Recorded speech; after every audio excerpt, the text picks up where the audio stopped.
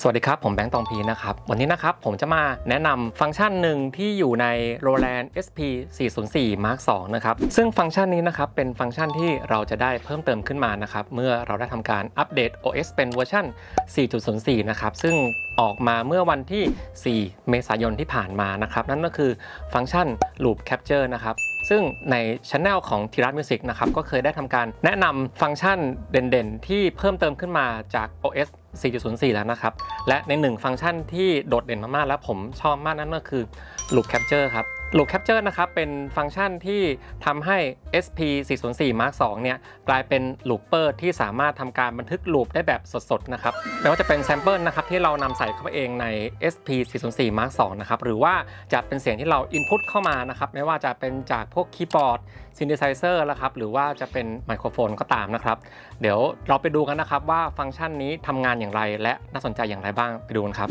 ทีนี้เรามาลองดูวิธีการ ใช้งาน Loop Capture นะครับ อันดับแรกนะครับให้กดที่ปุ่ม Mark นะครับ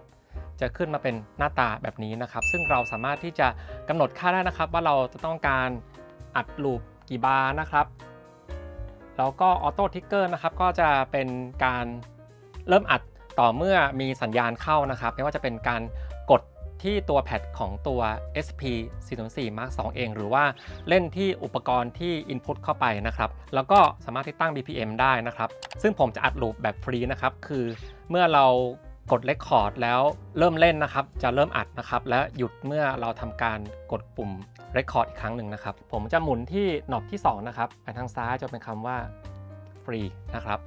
แล้วก็กดที่ปุ่ม Rec นะครับ เพื่อทำการอัดนะครับ ก็จะขึ้นว่าเป็น Record Wet นะครับ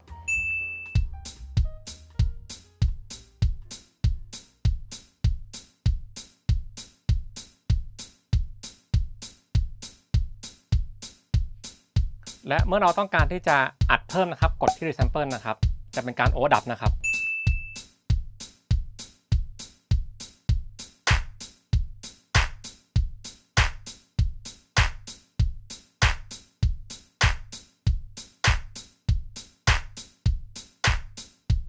และถ้าเราต้องการที่จะอัดเสียงจากอุปกรณ์ข้างนอกเข้ามานะครับ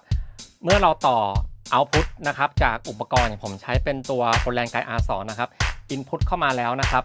เราจะต้องทำการกดที่ปุ่ม external source นะครับเพื่อให้เสียงจากอุปกรณ์ภายนอกเข้าไปสู่ตัว SP 404 Mark 2นะครับเรากด resample เหมือนเดิมครับ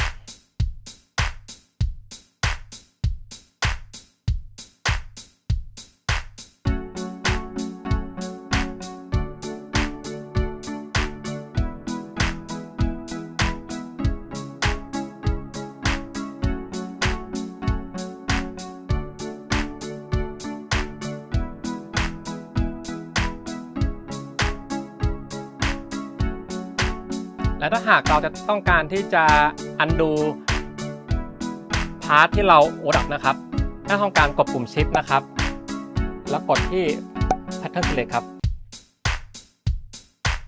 แล้วเมื่อต้องการรีดูนะครับทำเหมือนเดิมครับ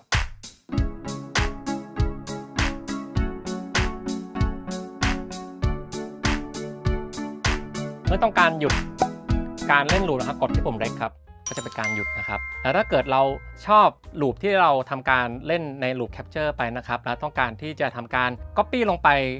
บน pad ของเครื่องนะครับ ให้ต้องการกดไปยังแบงค์ที่ยังว่างอยู่อย่างนี้ผมไฟที่ดับอยู่คือ 3 4 จนถึง 12 นะครับ ผมเลือกมาอันหนึ่งกด Copy นะครับ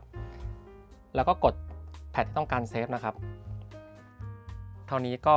เรียบร้อยแล้วครับ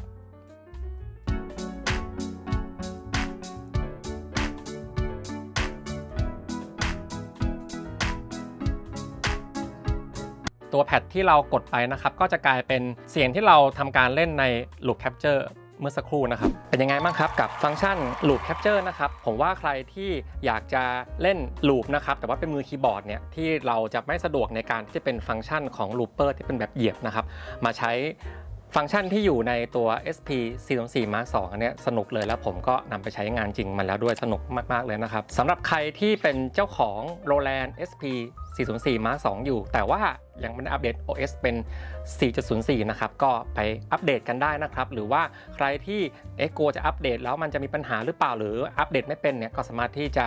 นำตัวเครื่องนะครับ มาให้ที่ Theera Music นะครับสามารถทำการอัปเดตให้ได้นะครับ หรือว่าใครที่สนใจอยากจะลองใช้ดูก่อนนะครับว่ามันใช้งานยังไงนะครับ ก็สามารถที่จะแวะเข้ามาลองได้ที่ Theera Music เช่นกันครับ